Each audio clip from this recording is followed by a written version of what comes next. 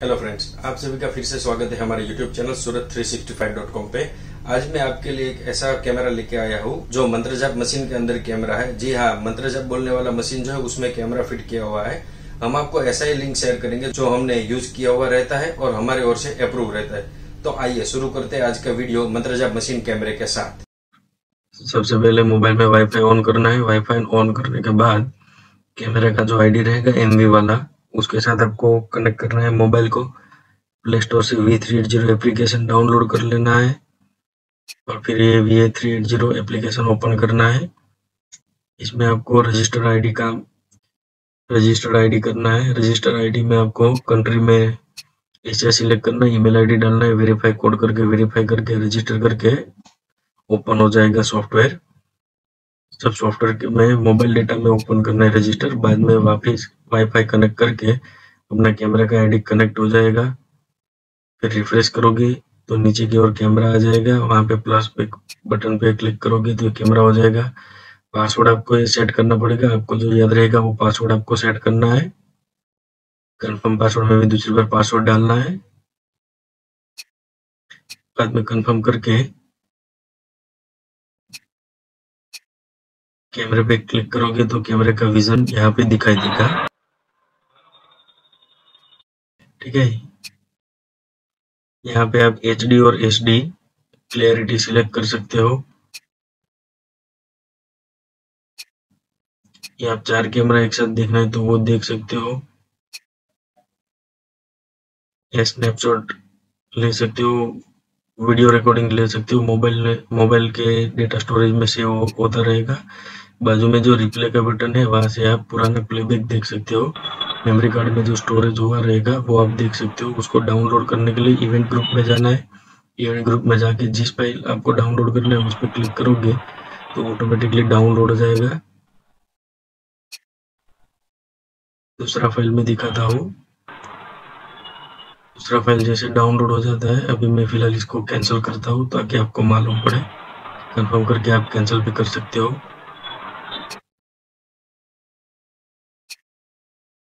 ये इन्वर्जन का ऑप्शन है। अगर आपने कैमरा उल्टा लगा दिया है तो विजन सीधा हो जाएगा। बाद में जाते हैं सेटिंग के अंदर। उसमें आर्मिंग का फ़ंक्शन है। अगर आपको अलर्ट चाहिए तो आप आम डिसाम कर सकते हो। अगर आपको कैमरा डिलीट करना है तो आप पासवर्ड डालोगे आईडी का तो उसे डिलीट हो जाएगा। कैमरा शेयर भी कर सकते हो आप। दूसरा कोई अकाउंट बनेगा उससे सेटिंग में जाने के बाद, पहले जनरल सेटिंग आता है, उसमें निकनेम और डिवाइस आईडी आता है। बाद में पासवर्ड जो पहले दिखा है वही पासवर्ड का ऑप्शन है इधर। डिवाइस टाइम टाइम आप सिंक्रोनाइज कर सकते हो, सेट कर सकते हो। फॉर्मवेयर वर्जन आपको मालूम पड़ेगा कि कौन सा वाला फॉर्मवेयर वर्जन अब लगा हुआ है। अलार्म आप ऑन कर सकते हो। अगर आपको एलर्जी है मोशन डिटेक्शन में आप एरिया सिलेक्ट करके आप मोशन भी अनेबल डिसेबल कर सकते हो। उसके बाद में अलार्म साउंड है। नोटिफिकेशन पे आपको साउंड मिलेगा। तो फ़िलहाल मैं अभी ऑफ़ कर रहा हूँ। बाद में जाते हैं मेमोरी कार्ड की सेटिंग के लिए। अभी फ़िलहाल ये वन ट्वेंटी एट जीबी मैंने डाला है। वो सपोर्ट करता है इसमें। आपको दिख रहा है। 99 परसेंट रिमेनिंग स्टोरेज बाकी बचा है। Record audio continuous recording HD recording वो आप अपने हिसाब से सेट करके फॉर्मेट भी आप यहाँ से कर सकते हो। फ़िलहाल मैं कैंसिल कर रहा हूँ। एडवांस सेटिंग में जाते हैं, वो आईपी है। आप मैनुअल आप आईपी सेट करना चाहो तो भी कर सकते हो। और लैंग्वेज का ऑप्शन दिया है, अभी फ़िलहाल बैक चले जाता हूँ मैं।